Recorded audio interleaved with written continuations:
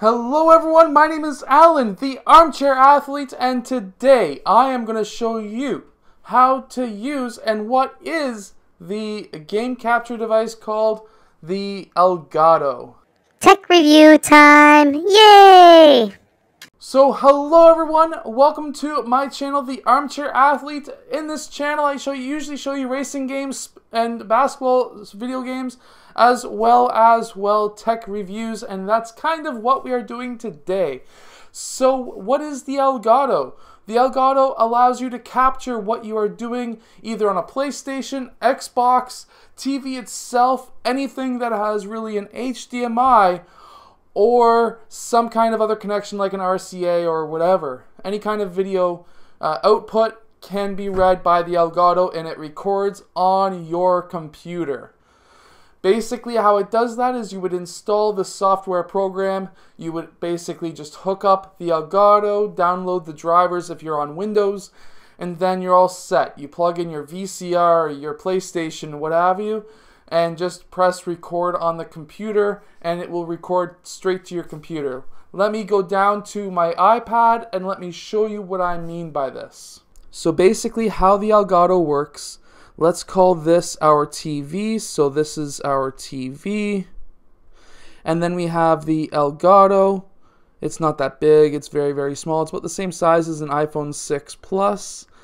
And we'll call this L.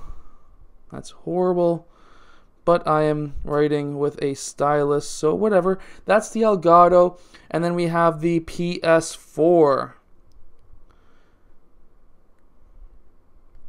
That's PS4. Let's give the TV some antennas, if possible. Apparently not. Okay. So I grew I drew that way too high to the top, but it doesn't matter. Basically what happens is the oh yeah we'll need a computer as well. So let's call this comp or com for computer. And basically how this works is you would download all the software onto your computer. You would plug your Elgato into your computer and also through an HDMI into your TV you would then connect your PlayStation into the Elgato as well. And then on your computer you would go onto the settings on the side of your Elgato and click on PS4.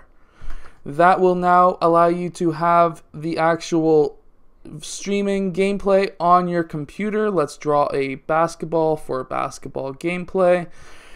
I can't draw on this iPad worth of shit, really. But anyways, there's there you have it. Basically, what happens is the PlayStation 4 footage, it goes into the Elgato. The Elgato streams it to the computer, and then you have a live feed going to your TV. The reason why you also have it going to a TV is because this would be live. Live is very important, especially if you are playing the game at the same time, because at the on the computer you will have a 2 to 10 second delay. The reason for the 2 to 10 second delay is if you have a better computer, you will be 2 seconds. If you have a crappier computer from about 5 years ago, if it does work, it will be closer to 10 to 12 seconds, if not longer.